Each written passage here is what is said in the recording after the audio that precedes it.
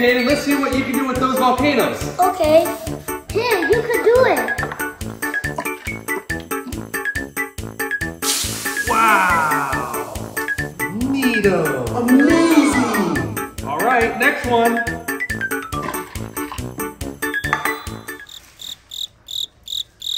Huh? It's not working.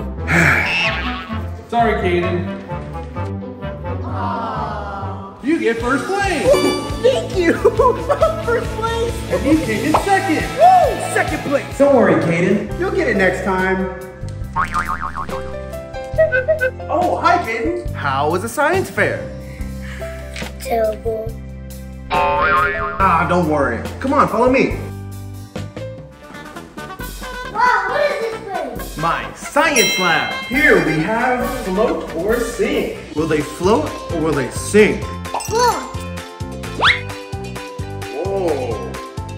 Sinking and one of them's floating.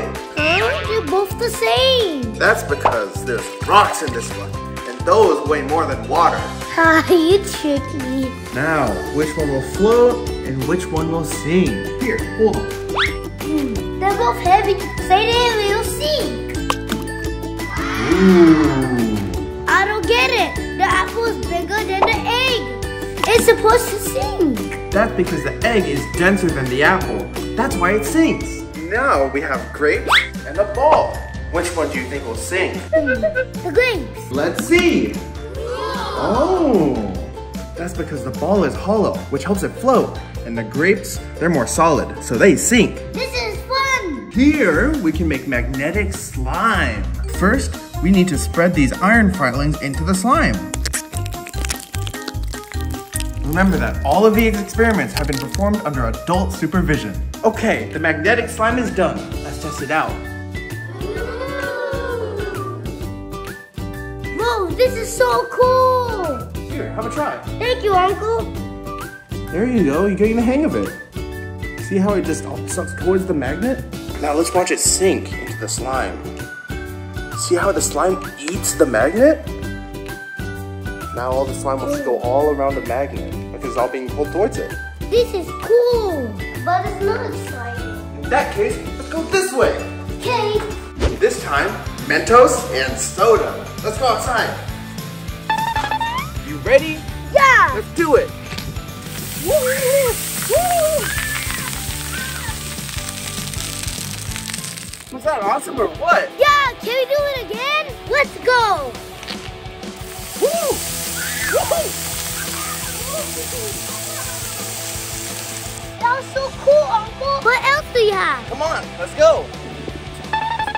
Here we have density levels. What is that? Just watch. Here we have a bolt. The grape is densest, and so it'll sink the lowest. The cap, slightly less dense, but it will still sink under the oil. But it'll float on top here.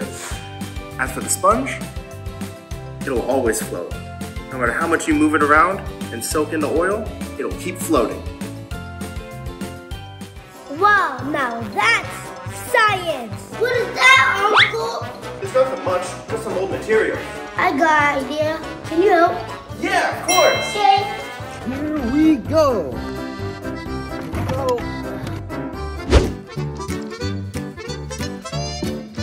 Ta-da!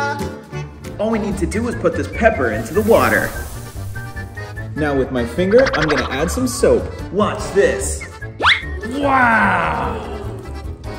Whoa, that's pretty cool. All right, Kaden, it's your turn. Come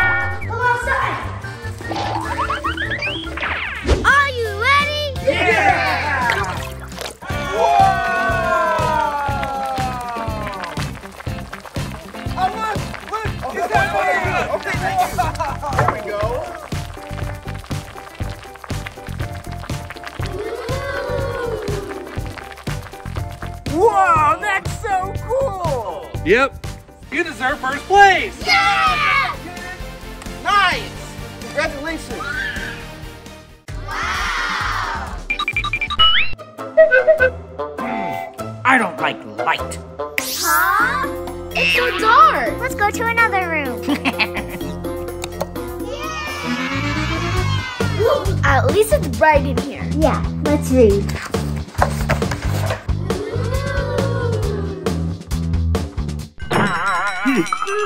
Bright again? Huh? It's getting dark again. Let's go, Janny. Auntie Amy, Auntie Amy. Huh? The lights keep going out. Really? But it's still bright in here. Hmm. Not for long. See, Auntie? It's getting dark again. I got this. huh? Now we have light again. How, Auntie? With this light I have right here. And that light. Huh? The light works without connecting to electricity? Huh? yeah. the light works with solar energy. Sunlight goes through the solar panel right here. So you see, the light bulb doesn't need electricity. Hmm. That's not interesting. Whoa, that's so interesting. Wow. Hmm. My magic doesn't work with solar energy? I'll be right back. Do you know where solar energy comes from? The sun. Correct! Yay! solar energy? The sun? Huh? The light is out again, Auntie. I got this. Huh? Where are we? We are in the land of wind power. What? Where is this place? Oh, the giant turbine. Wow. Well, what are they for, Auntie? The wind helps the turbines spin around and generate energy. Wow. But I still don't understand clearly. That's okay. Let's go back and I'll explain to you. Huh? Why is it red again? Because the wind collected energy, which lights up these bulbs. Here's another one. Whoa. More light? What is this, Auntie? This is a model of a wind turbine, like we went to before. Awesome. How does it work? As the wind spins the turbine, it generates electricity. If you look over here, you see the light. Wow, that's amazing. That's not that amazing. Ooh, so cool. Huh? Magic doesn't work with wind energy? Kinetic energy is the energy of motion. As it moves, it generates energy, which is electricity. Wow, now I understand. There's no point in understanding that. Huh? The lights went out again, Auntie. Yeah. now I can go to sleep. hmm. Ah. Okay, let's go outside and go camping. There's lights there. Ta-da! Welcome to the best campsite. Whoa. Huh? Where did the light come from, Auntie? These are solar lights too. I'll charge my solar light. Wow. The power of the sun will go into the panel. And it will generate electricity to light up the bulb. Awesome. Solar energy is amazing. Wow, Auntie, this is really cool. The solar lights even work when the sun isn't here because they generate over time. Wow. It's even bright here in the backyard where it's supposed to be dark. Solar energy is so cool. These energies provide no gas emission and it reduces most types of air pollution. Wow. Wow, solar and wind energy is so interesting. Auntie, can we have some s'mores now? Sure. I want some s'mores too. Hello. Hi. Can I join you? Camping is fun and I want some s'mores. Uh, yeah, sure. Twinkle, twinkle, little star, how I wonder what you are. Up above the world so high, like a diamond in the sky. Twinkle, twinkle, little star. Bye. Help, Andrea, help. I can help. I'm Larkin. No good, Andrea. Ah! I'm Rubble. Oh no! F for you, Andrea. Aw. Ah, I have water. Not again. Another F for you. Help! Help! Help! Need my help, Ryder? Yes, Marshall, I need your help.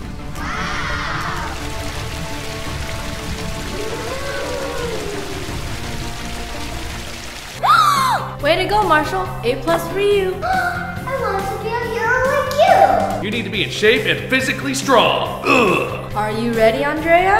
I'm ready. Let's go. So let's do science. We need soda and Mentos.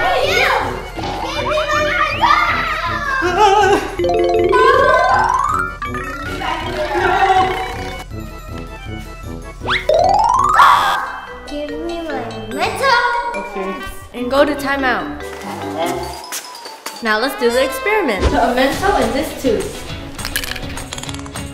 Ready? One, two, three, go.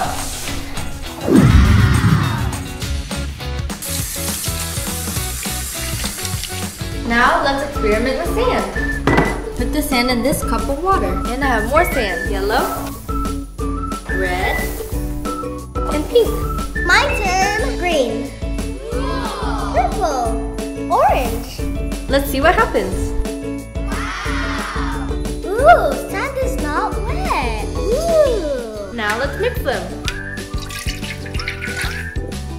Ooh.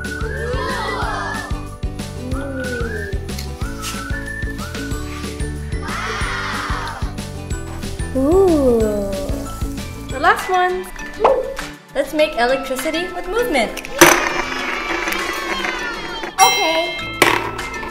Awesome. Do some exercise. Okay. Wow. Now let's go do a sport. Come on. Here you go, Andrea. Way to go, Andrea. Now let's play ring toss. Oh. Try again, Andrea. Better, Andrea. Now let's go work as a team. Okay. First, you're gonna do it alone. With this sticker, you need to score a goal. Right here. Here you go, Andrea. Thank you. Almost. Try again.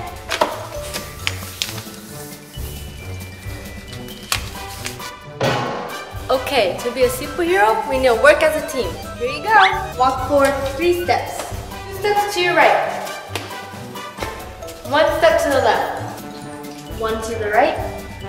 Up a little bit. Right there. Go. Go! My kitty cat! Help! Help! Somebody needs help. Let's go. My, my kitty cat! We can help. Too high. Rubble, let's use this ladder.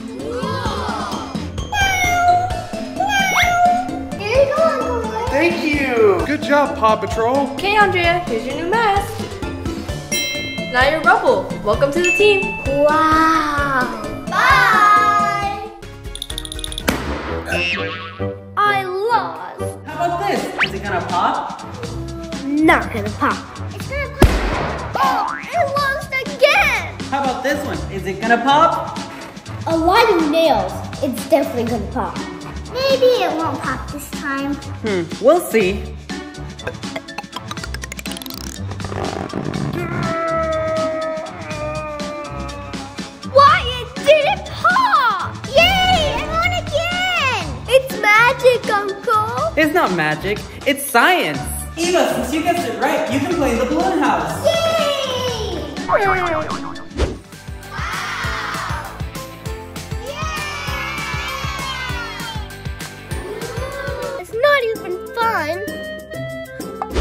Move on to another experiment with balloons and pepper. First, I rub the balloon on my hair. I hold it close to the pepper.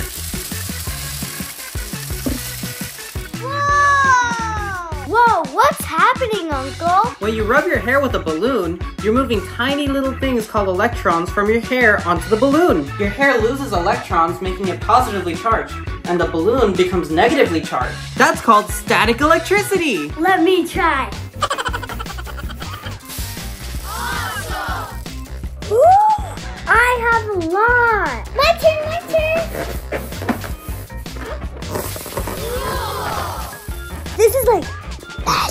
Great job, Eva! Now let's move on to another balloon experiment. Now for our next experiment, we're gonna guess if the skewer will pop the balloon. Oh no! Remember, always do experiments with adult supervision. Let's see. Whoa! Mm-hmm. Mm-hmm. How is it possible? Let me explain. Imagine your balloon is like a big stretchy spaghetti. When you blow air into the balloon, you're asking the spaghetti to stretch out to make room for the air. Now think about the top and bottom part of the balloon, where you tied it and where it looks darker. Over there, the spaghetti pieces aren't stretching as much. They're more relaxed because they're not holding as much air. So if you gently push something sharp, like a skewer, you're asking some of the spaghetti pieces to move aside without letting go of each other's hands. They can do this because they're not stretching too much and have room to move. That's why the skewer can go through without popping the balloon. Wow, that's amazing. How did the balloon not pop in the first experiment, Uncle? If you push the balloon into one pointy thing like a nail, it's like putting all the pressure into one tiny little spot. And pop! The balloon can't handle it and it bursts. So what happens if we have more nails, Uncle? When there are more nails, the pressure gets spread between all the nails. It makes it harder to pop the balloon. So what happens if we have a lot of nails, Uncle? But when we have a lot of nails, the pressure will spread out between every single nail. And here also. So it makes it harder to pop the balloon. Oh, now I know. See? Popping that balloon made me tired. The same thing happens when you step on a lot of eggs. Oh, They won't break. Ooh, I want to try. Me too, me too. All right, go ahead. It's not breaking. The eggs won't break because Ellie's weight is spread between a bunch of the eggs. My turn, my turn. We learned a lot today. Now you two can go play at the balloon house. Yay!